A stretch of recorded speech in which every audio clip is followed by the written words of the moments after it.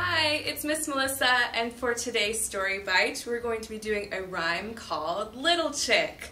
Now, our friend Little Chick is playing hide and seek, so let's see if we can find him.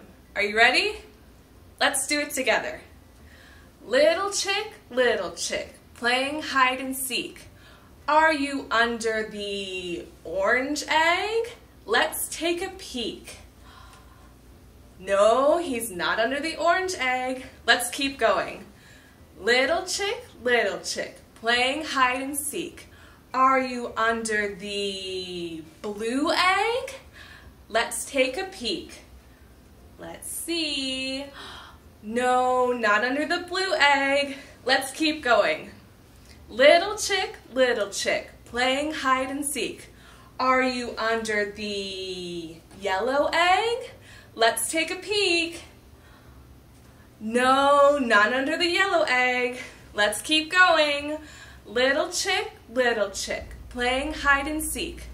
Are you under the green egg? Let's take a peek. Not under the green egg. Let's try one more time.